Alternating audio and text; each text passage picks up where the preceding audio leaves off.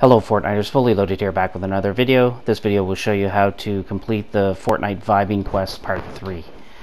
So, I've uh, the first part of this quest is to establish a device uplink. I've uh, marked a location on the map. I can just see it on the right here, but uh, in-game I kind of struggled to find it. it. it. didn't seem to pop up right away. But uh, anyway, I figure finally narrow it down. There you go. There's the device uplink just on the outside of town. And the next step is to damage opponents using a Star Wars weapon. So I'm assuming you can do this with a lightsaber or the blasters. Um, the blasters are available in the Team Rumble mode. Um, Darth Vader doesn't spawn in Team Rumble mode, so um, if you want to do it with the lightsaber, you're going to have to play uh, a normal game mode. Um, but anyway, I'm doing it in Team Rumble, so there's these five locations where the shuttle lands. Um, you don't necessarily need to go to the location with the shuttle, but there's five spots where where it will land per game, and there's these little structures. Um, almost kind of look like utility sheds. Um, there's basically these chests that spawn in them, and uh, you can get the blasters uh, from within those uh, those chests. So that's what I'm doing here. I'm going to this location to get the blasters. So there's the boxes I was referring to, and there's the blaster you're going to need to complete this challenge if you don't use the lightsaber, that is. So anyway, uh, so next is just showing me in-game uh, putting damage to people. So again, Team Rumble mode's a great mode for doing this. There's lots of people, um, lots of opportunity, I guess. I guess there's fewer people in the game, but usually they're all concentrated by the, I guess, quickly depleting storm and uh, yeah you can uh, usually complete this in one game. If not you can do it over a couple games but it doesn't really matter. You don't have to do it in one game but uh, and this is an AFK player so that gets me uh, you need 500 X or 500 damage I think in order to uh, to complete this uh, part of the quest. So after this you have to establish another device uplink. So I'm marking this on the map here just outside of Coney Crossroads, so right by the bridge.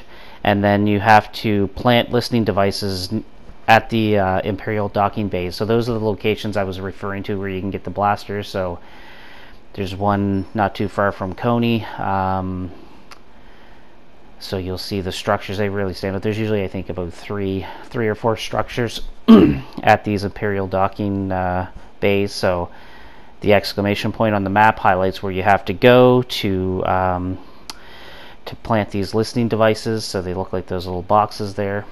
So uh, the other ones are sort of dispersed throughout the map. So uh, here's the second location here. This is where I got the blasters originally so engaging with that device. And then the rest of them are in the mountain area. So I'm driving to those locations.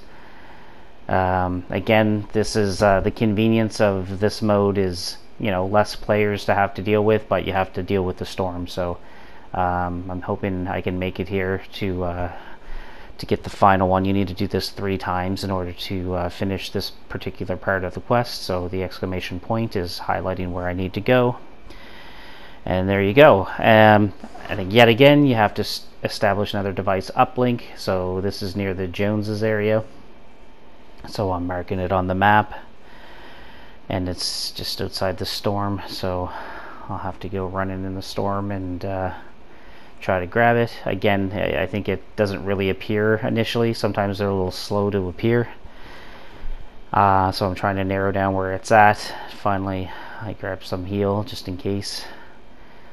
Oh try to. No I can't pick it up.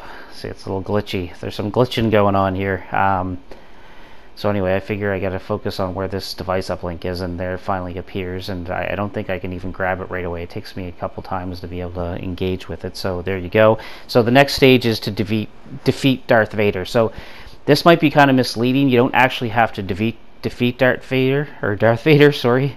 Um, I just wanted to note that if you can get in here and you follow the shuttle um, at the beginning of a regular game, so I had to leave Team Rumble and go into a regular game mode, so I chose solo no build mode. At the beginning of each match, a shuttle will fly in a random, well, one of five random locations, I guess, if that makes any sense. And I like to land not too far from the shuttle, but not right on the site. Grab a weapon, and uh, you, you'll see what my strategy is here. But basically, all you need to do is put some damage on Darth Vader. And if somebody else, like usually there's a whole swarm of players that go in trying to get Darth Vader, probably to complete this challenge or to get the lightsaber, because he, he basically leaves a lightsaber after you defeat him. Um, so all you have to do is get a little damage on him, and if he gets eliminated by somebody else, you get credit for that, and it will complete this challenge. So I just wanted to note that off, off right off the jump. But you have to survive. That's the key. So um, you'll see some players they they put some damage in on Darth Vader and then they go run and hide in a bush. I think that's a pretty good strategy. Like the key is to get damage on Darth Vader and survive. Um, you have to be alive when he eventually gets eliminated by somebody. So so that's important note. So I think that makes this a little bit easier for you, knowing that you don't actually have to defeat him yourself. You just have to be a participant and survive his death. So anyway, you'll see where I, and I don't do a lot of damage. Um, I'm coming in. I can see some stuff flying around. I'm, I'm assuming he's uh, using the force.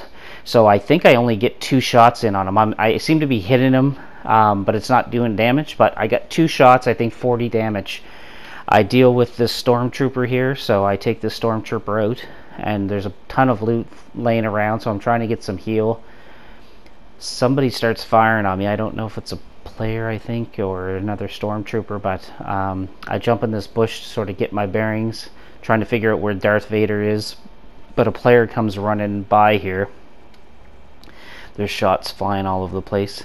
So I I put some this is the player that actually must have did damage to Darth Vader and jumped in the bush. He's looking to survive. So Anyway, um, I'm again just trying to get my bearings here. I, I, don't know how many players are around here, but um, and I don't think I'm aware at this point either that um, like I don't actually have to kill Darth Vader because I'm actually trying to track him down to finish him off. But I I hear some fighting in the distance. This when you're fighting Vader, it can sort of you guys can get spread out over the map quite a bit from where you started.